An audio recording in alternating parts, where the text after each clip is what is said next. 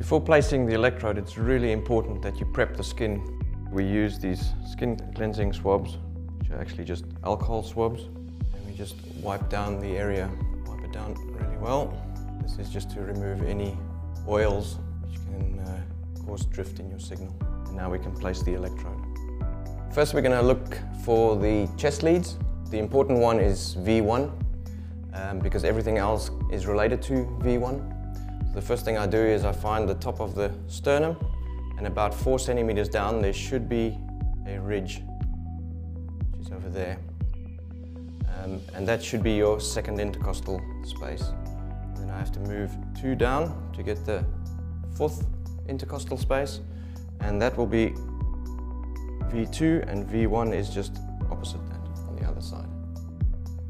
Uh, next I will find V4 which is mid clavicle and just one intercostal space lower, mid clavicle, place that one there and then I look for V6 which is mid axillary on the same level. It'll be over there and then I can just fill in halfway in between is V5 and halfway between these two is going to be V3.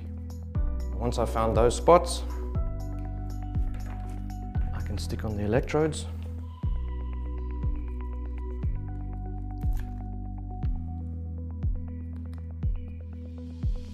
Other side of the sternum.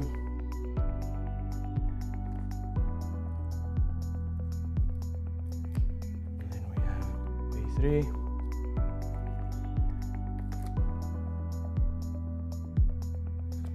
V4.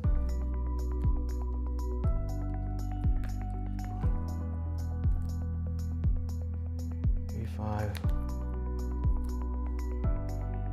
six, And then we can take each of these wires and run them into the octal bioamp into channels one through to, through to six.